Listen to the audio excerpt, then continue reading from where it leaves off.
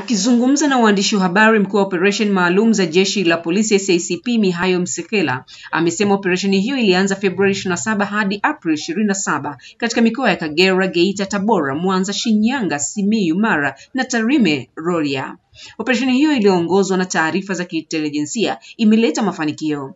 Hao watuhumiwa 181 wamewekwa kuwa waangaliwa wa jeshi la polisi baada ya mashauri yao kutokuwa na ushahidi madhubuti. Watuhumiwa 232 kesi zao zinaendelea mahakamani ambapo kesi zao zipo katika hatua mbalimbali mbali, na watuhumiwa 122 mashauri yao yalikwisha kwa mafanikio mahakamani.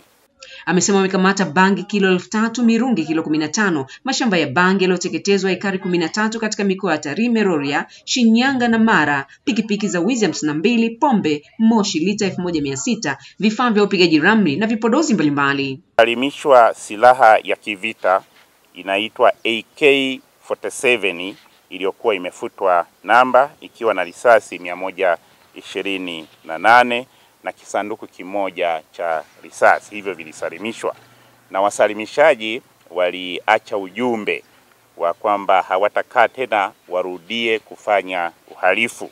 Kwa hiyo hiyo silaha irudi kwa wenyewe, lakini ilisalimishwa pia pisto aina ya Glock 17 moja, shotgun zilizosalimishwa ni tatu, magobole yaliyotengenezwa kienyeji thelathini na saba pisto zilizotengenezwa kienyeji kumi.